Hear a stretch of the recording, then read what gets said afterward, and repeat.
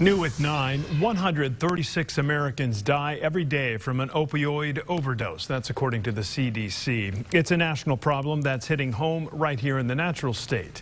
But as Katrin Asaf discovered, the city of Hot Springs is fighting the opioid crisis in its own way by battling drug addiction one person at a time. She joins us live in studio this evening with more. Katrin? Kevin, Donna, the Hot Springs Police Department told us today that many addictions start with prescribed medications, opioids taken for pain relief that spiral into a need. The goal of the department's latest effort is to meet addicts where they are and stop the chain of addiction before it leads to more dangerous drugs or even death. Sean Willits is used to talking with people.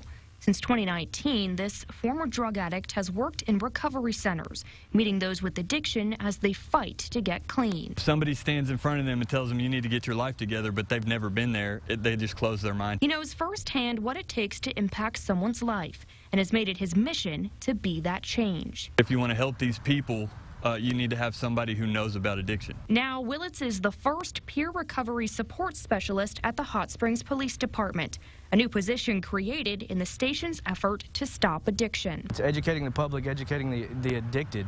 Corporal Jesus Anaya has been on the other side, seeing the damage narcotics can do as he investigates overdose deaths. We're here to help them get out of that mentality that they need the opioids. His experience has helped in the new outreach program, one of six across the state funded by a grant from the Arkansas drug director.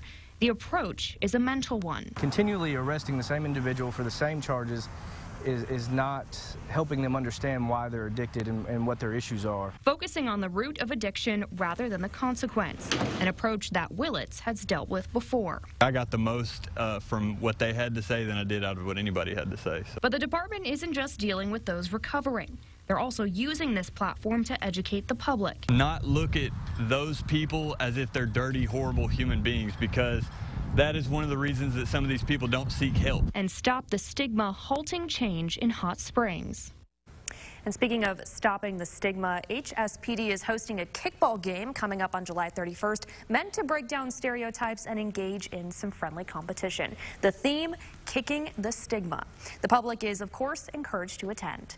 Reporting in studio, I'm Katrin Asaf. Back to you.